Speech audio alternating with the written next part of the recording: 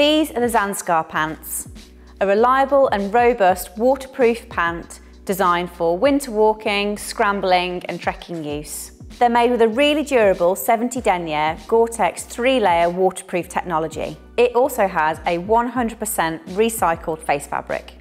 This fabric achieves a 28 metre hydrostatic head rating and an RET breathability score of below 9. This makes these pants not only waterproof but breathable even if you're layering them over the top of soft shells. The feature set on these pants include a hook and loop waist adjustment and on the men's we also have belt loops.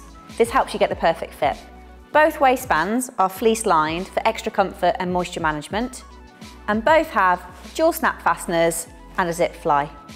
For easy on and off, even over winter boots, we have a 7 8 side zip with dual pullers. This not only allows you to get in and out of your pants easily, but it also allows you to fine tune venting.